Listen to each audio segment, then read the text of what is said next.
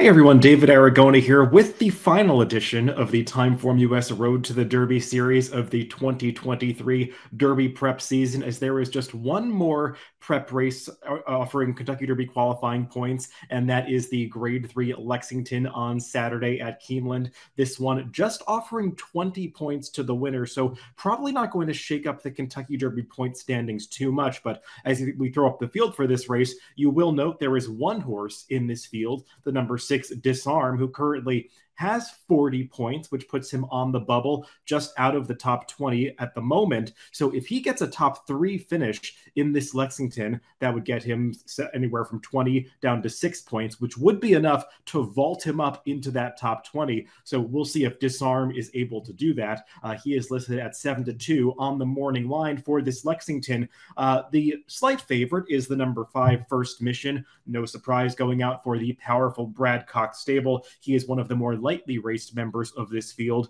Brad Cox also has the number three Demolition Duke in here. Interesting wild card is the number 11 Arabian Lion, drawn on the outside, trying to get back on track for the Bob Baffert stable, and also the number eight Empire Strikes Fast, another one likely to take money in this 11 horse field.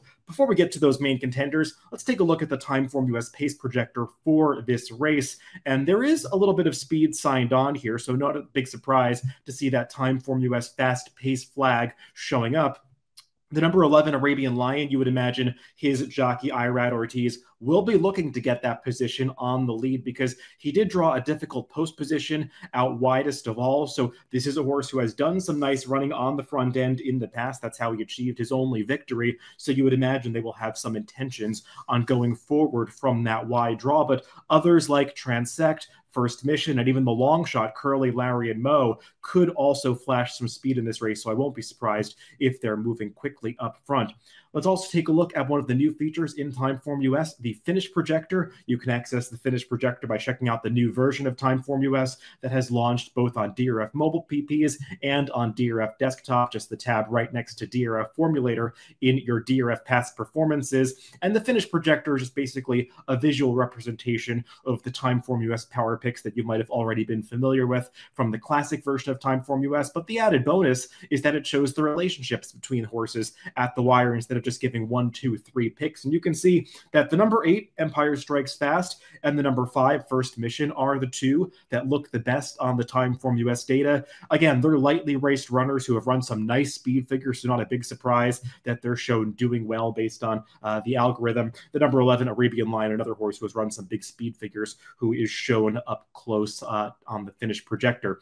Let's get to the main contenders in this race, and we're going to begin with some horses that are coming up from fairgrounds. First of those is the number six Disarm, and he's the one that a lot of the Kentucky Derby point standings bubble horses will be watching in this race because they don't want to see themselves get leapfrogged by Disarm if he does get some points out of this Lexington.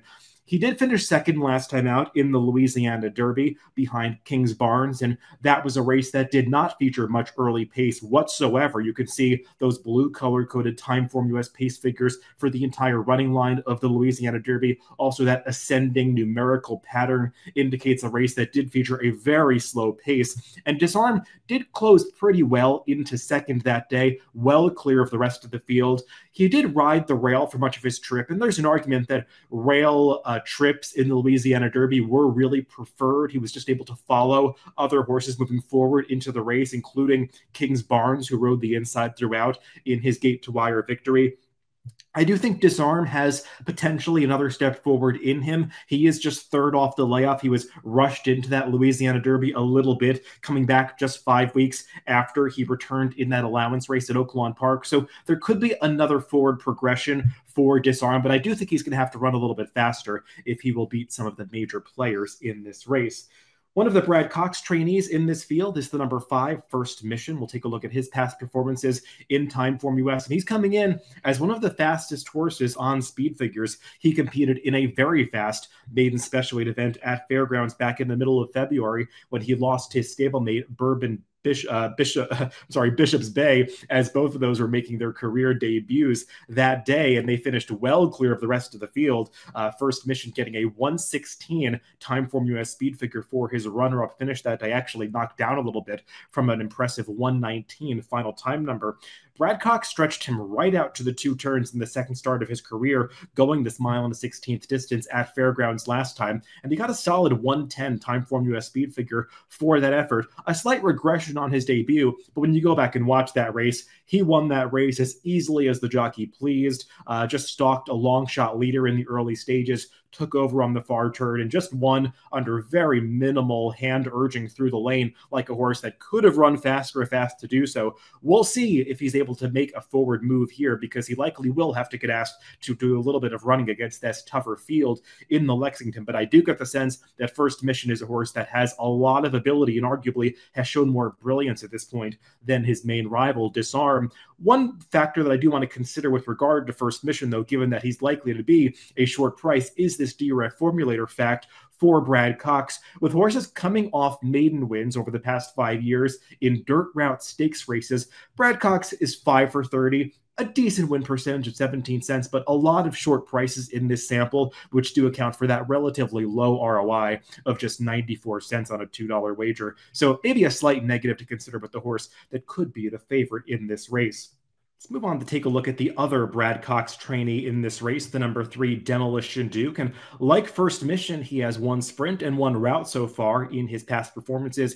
He debuted going the six furlong distance and made a nice wide sweeping run to take over that day, winning going away by three lengths, like a horse that might appreciate some added ground. And that proved to be the case last time when Brad Cox stretched him out around the two turns to go the mile and 70 yard distance in an allowance race. And he ran into the horse that actually was. Uh, that actually beat First Mission on debut, and that was Bishop's Bay, the horse that got that very fast speed figure for his debut victory. Bishop's Bay was the heavy favorite when he came back and faced off against his stablemate Demolition Duke in that March 19th allowance race. And Demolition Duke made that favorite work pretty hard for the victory. He took a nice run at this horse in the stretch, and Bishop's Bay was able to turn him away. But I thought the Demolition Duke put in a game effort. You'll note those blue color coded Timeform US pace figures in his running line, which indicates that was a very slow pace. And those early pace figures of 54 indicate it was an extremely slow pace for the distance. So I thought Demolition Duke actually did pretty well to make up some ground that day and almost got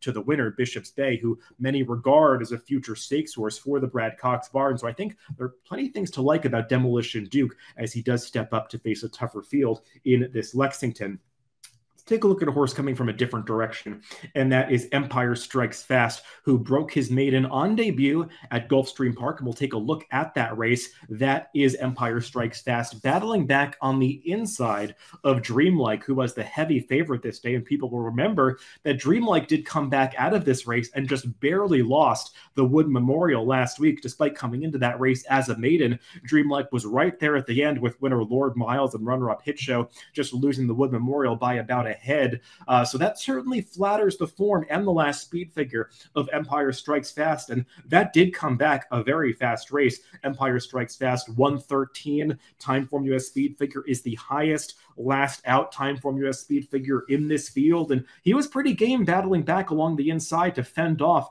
that heavy favorite Dreamlike a little bit of surprise to the bettors and maybe even the connections because this horse was a well-kept secret that day going off at 23 to 1 but the secret's out now is he did run that fast speed figure I have some minor concerns about him running back to it for the Bill Mott stable. I showed that stat for Brad Cox. I also did some digging in DRF Formulator to look up some similar stats for trainer Bill Mott with last out debut winners making their second starts on dirt. Mott is just two for 28, 7% win rate with a dollar and three cent ROI over the past five years. So maybe some reasons to downgrade Empire Strikes Fast a little bit, uh, but he definitely did run well in that initial start. The number 11 is Arabian Lion. We'll take a look at his last race when he finished fourth, but fourth of a four horse field, so last in the grade three Robert B. Lewis at Santa Anita back at the beginning of February. This is a horse that has been short prices in every start so far. There have been very high expectations around Arabian Lion following his debut victory in fast time last fall at Santa Anita, but he's been a bit of a disappointment. Lost his next start at Keeneland as the odds on favorite, finished last as the odds on favorite in the Los Alamitos Futurity. Again, last, last time despite those disappointing results, he still has achieved some nice speed figures. The 116 that he earned in the second start of his career when beaten by Giant Mischief is one of the best numbers been earned by anybody in this field. I do have some concerns about the distance for him. They're continuing to run in these Derby preps around the two turns. When I watch this horse run and considering his pedigree, I just feel like he's much more of a one turn runner, probably a sprinter. We've seen a progeny of Justify have trouble stretching out uh, across the board in his first crop. He's got a very low percentage uh, of winners in dirt route races compared to sprinters. So I'm a little bit against Arabian Lion, especially if he's anywhere near that 7 to 2 morning line. That just seems like bad value on this horse. Let's move on to some bigger prices. The number nine is Prairie Hawk. He is coming out of the Tampa Bay Derby for trainer Saffie Joseph, and that might ring a bell because another Saffie Joseph trainee that came out of the Tampa Bay Derby just caused a huge upset in the Wood Memorial last week. That was Lord Miles, who was fifth in that race, and Prairie Hawk actually finished one spot ahead of him, checking in fourth behind Tapit Trice in that Tampa Bay Derby. I didn't see a big excuse for him. He did draw a difficult, a difficult post position, number 12, that had to be used a little bit early to attain some forward position in that race. But I thought he had a fair chance and just didn't really finish off that race. He's going to have to get a little bit faster. I think others in this race have shown themselves to have a little bit more upside than he. Another one coming out of the Louisiana Derby is the number seven Dennington. Uh, he was uh, a big price that day, 33 to 1, so I don't want to be too hard on him, but he's just a horse that didn't really back up the fast Timeform US speed figure that he had received two back when he won an allowance race, getting a 112. A number like that would make him competitive here, but he didn't come close to it last time. The trip in the Louisiana Derby, kind of like with Disarm, didn't really work out. He was against the slow pace, and unlike Disarm, he was wide every step of the way. I still would have liked to see him pick up his feet and do a little more running in the stretch, and we just didn't see that out of Dennington. I wonder if him getting Lasix two back was part of the reason why he was able to run that faster speed figure.